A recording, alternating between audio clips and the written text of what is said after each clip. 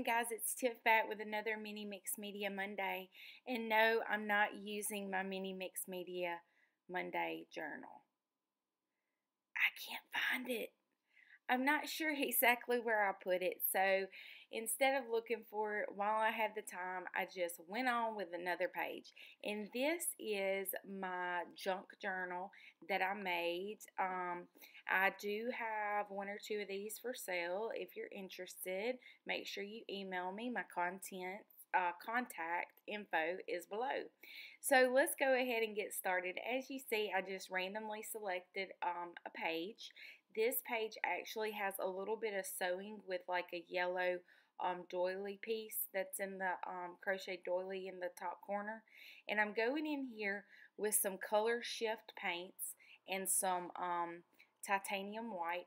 The color shift paints are a um, folk art product and I added a little turquoise uh, color shift as well.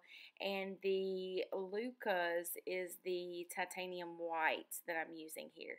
So as you can see, I'm not even like washing the brush or anything.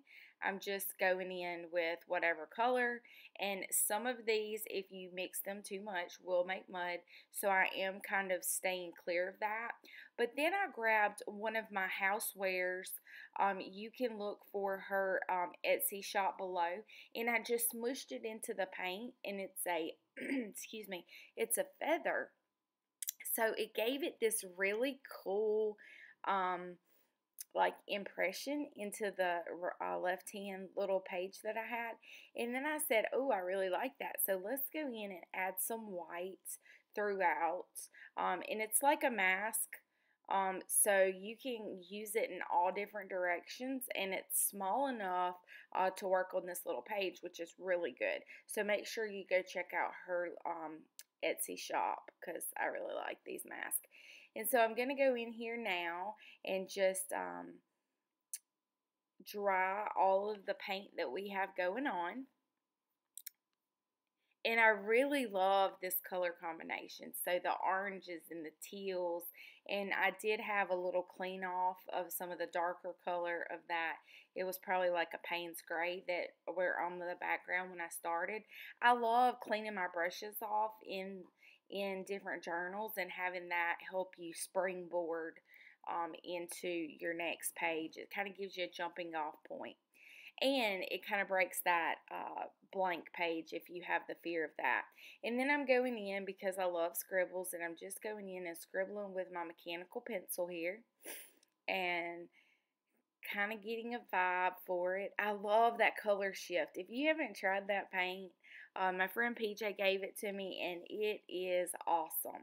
So now I'm going in and I'm just going to go in with um, that, uh, what was that, Tiffany? That Stabilo pencil and water on the end of my paintbrush and just flick it to make it some soft gray tones. And I went over with my brayer just so they weren't all completely perfect little splatters.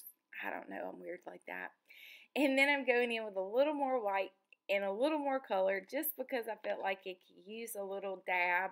And remember, it's only our art journal, right? So don't stress about it, guys. Just slap it down. No big deal.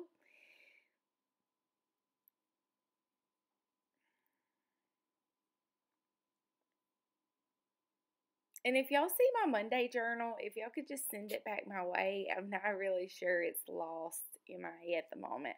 Hopefully, I can find it for next week. And now, out of the corner of my eye, I saw some of the copper leaf. Um, oh man, I really like this stuff. And I'm just going in with the Uhu glue stick. And it seems to be like the easiest way for um, me to apply the uh, any of the leaves, like copper leaf, gold leaf, silver leaf, whatever kind of leaf you got. Um, so I just go on with the Uhu glue stick, and it seems to, I haven't had any like come off or anything, so seems to work okay. And now I'm taking like a harder bristle brush just to kind of break that up a little bit and scratch into it so it kind of looks like peeled paint. I really like that effect, by the way. And it gave it a little pop and a little bling. You can never go wrong with that. So I grabbed um, a little quote out of a daily um, calendar that I have, and I'm just going to plop some masking tape down and put this quote down.